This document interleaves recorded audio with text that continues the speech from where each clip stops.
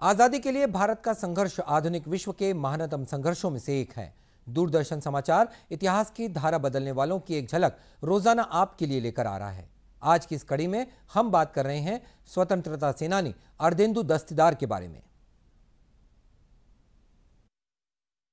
आज की कड़ी में हम महान क्रांतिकारी स्वतंत्रता सेनानी अर्धेंदु दस्तीदार को उनकी पुण्यतिथि पर श्रद्धांजलि अर्पित कर रहे हैं। 1930 में 24 अप्रैल को उनका निधन हुआ था। अर्धेंदु अपनी किशोरावस्था में ही परिवार छोड़कर चटगांव में मास्टर दा सूर्यसेन के नेतृत्व में रेवोल्यूशनरी पार्टी के सक्रिय सदस्य बन गए। चटगांव शस्त्रागार पर हमले के कुछ सप्ताह पहले वे उच्च शक्ति के बम बनाने में काम आने वाले पिक्रिक एसिड पाउडर के कारण हुई एक दुर्घटना में गंभीर रूप से जल गए थे। 1930 में 18 अप्रैल को शस्त्रागार पर हमले में शामिल होते समय भी वे पूरी तरह स्वस्थ नहीं हुए 22 अप्रैल को जब क्रांतिकारियों ने जलालाबाद पहाड़ियों में ब्रिटिश सेना से मोर्चा लिया तो अर्धेंदु को पेट में गहरी चोट लग गई, जिसके कारण वे बेहोश हो गए। अगले 23 अप्रैल को कुछ गाँव वासियों ने पहाड़ी की चोटी से अर्धेंदु को घायल अवस्था में पड़ा देखा। और उन्हें